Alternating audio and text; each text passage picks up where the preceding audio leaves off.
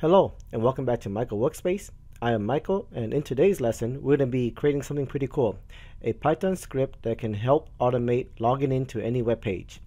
Alright so we do need a couple of dependency though. We need a Selenium uh, WebDriver and also a, uh, a WebDriver for your preferred browser. I'm going to be using Chrome in this example and for the web page we're going to be logging in. Uh, I'm going to use Facebook but this will work for any other uh, popular web page that you like. Doesn't could be Instagram, could be YouTube, could be GitHub, whatever. All right, so let's go ahead and install our dependency. Open up a command prompt or PowerShell, and in here, go ahead a. If you don't have piplet, uh, if you don't have Selenium installed, you could do a. Well, you if you want to check to see what you have installed for your packages, do a pip list, and as you can see here, I don't have Selenium, so now I'm going to run a pip command called install Selenium. And this should be really quick. It's a small library and it has been installed. So now we do a pip list and you should see Selenium right there. Okay, so that part is done. Next thing we need is a um, a Chrome um, driver. I mean uh, a Chrome driver for your Chrome browser. So we're gonna go out to Google and type in Chrome driver. Alright, the first link you see here, click into that and then underneath the uh, latest stable release version, go ahead and hit that hyperlink and in here select the operating system that you use. I am using a Windows machine, so I'm going to go ahead and click this link. Uh, obviously, if you're on a Mac or Linux, then you go to uh, the whatever link that it is for your machine. Alright, so here's a zip folder that's got download to my downloads folder. I'm going to go ahead and unzip that. And within that folder, I'm going to go ahead and cut out this executable. And I'm going to go to a different folder. And I'm just going to create a new folder called WebDriver because I'll probably be using this more often in the future and all my web drivers can be in here. So Chrome you're first. Alright so that's done. Uh, then next thing we need is to uh, start coding this. So now that we have Selenium uh, installed we can do a from Selenium import the WebDriver module. Uh, I'm also going to import a another module called getPass uh,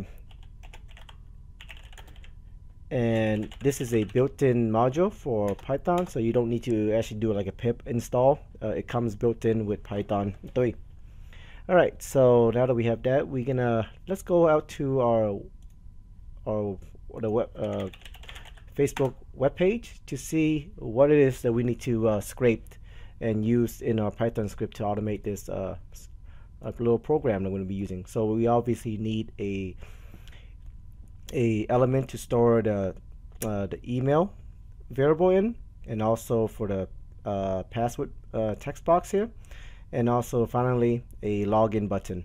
So we we know that we need to somehow interact with these three uh, pieces of element on this web page so let's go ahead and create those variables first. So the username text box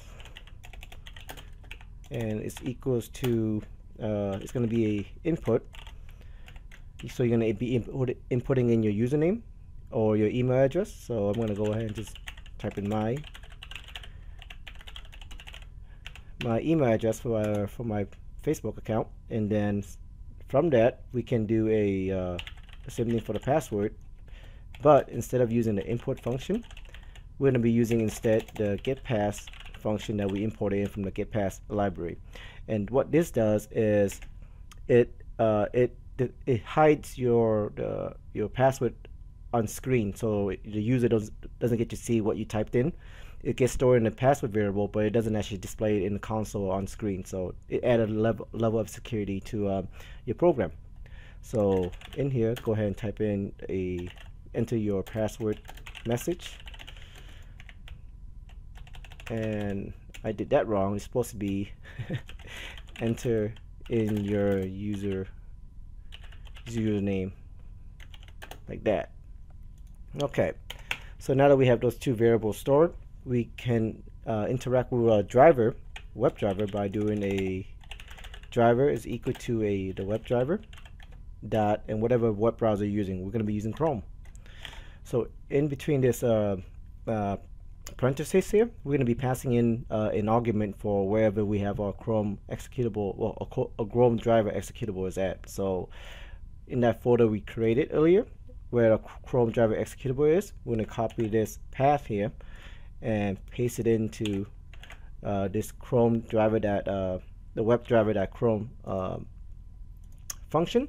And because we're on a Windows machine, we have to actually use double uh, backslashes so that it can um, ignore the escape, uh, escape escape sequence. All right, so now that we have that, oh, sorry, we also need to give the name of the the actual executable file, so like that. And then lastly, for the driver, we have to do a driver.get, and we're going to be getting the URL of our web page, which is uh, https www www.facebook.com like that and this is going to be uh, doing a get request out to this URL alright so then those text boxes that we saw on the web page we need to create a variable for those. So I'll create a username text box. It's equal to uh, driver that I'm going to be using this find element by ID function and that's how we are be able to select that uh, that text box on this web page so let's go back up here and in this uh, email or username uh, text box go to right click and go to inspect. And in here we're gonna be looking for the ID so ID is equal to email. Go back down to uh, VS Code and just pass that uh, ID the CSS, uh, CSS uh, ID selector in there. And then do the same for the password. It's equal to driver find element by ID and we're going to do the exact same thing go to the password text box right click go to inspect and then the ID is called pass alright easy enough so pass that in there and go back up here. So now that we we store that, um, uh, we are able to interact with this username.text text box by using the email or by using the ID. Now we have to actually tell our program that we want to send keys, uh, and we're going to be sending in whatever we stored in our um,